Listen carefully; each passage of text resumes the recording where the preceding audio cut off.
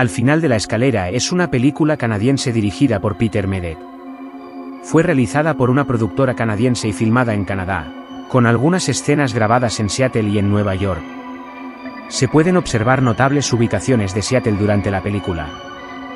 Las escenas interiores en la universidad fueron filmadas en la Universidad de Toronto y las escenas del edificio donde se encuentra la Sociedad para la Conservación Histórica pertenecen al Hotel Europe en Vancouver. Las escenas de la casa del senador fueron filmadas en la Royal Rose University. La mansión en la que vive el protagonista es una maqueta gigante.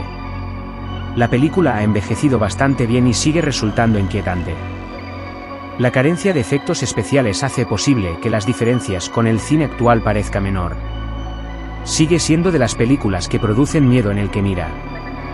De las que dejan pegado en el asiento y convierten los ruidos cotidianos de cualquier casa en motivo de sospecha la noche después de ver la película.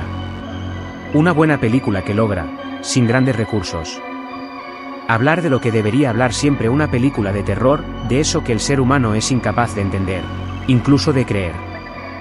La película trata sobre un destacado compositor y profesor de música, pierde a su mujer y su hija en un trágico accidente. Para recuperarse, abandona su residencia y acepta un puesto académico en Seattle para una fundación que posee, entre otras, una vieja mansión que permaneció desocupada durante largos años, la que Russell deberá utilizar como espacio de práctica profesional para los alumnos, además de vivienda.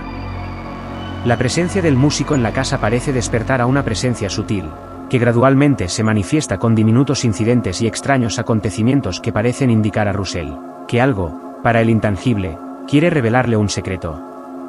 Al investigar obsesivamente el pasado de la casa, el músico descubre el rastro de algo terrorífico, un hecho de sangre que había permanecido oculto durante casi siete décadas.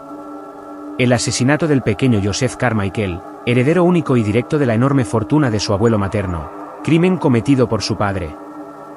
Nunca había sido descubierto, hasta que John Russell, en medio de su duelo interior, se hace cargo de resolver el misterio, incluyendo una sesión de espiritismo en la que se devela toda la verdad, que llegará incluso hasta un senador de los Estados Unidos.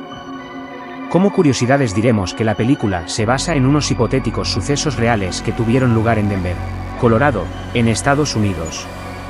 Otra curiosidad es que la película ocupa el puesto 54 de 100 de la lista de películas más terroríficas de todos los tiempos. El director Martin Scorsese posicionó al final de la escalera en el puesto número 11 en la lista de películas más terroríficas de todos los tiempos.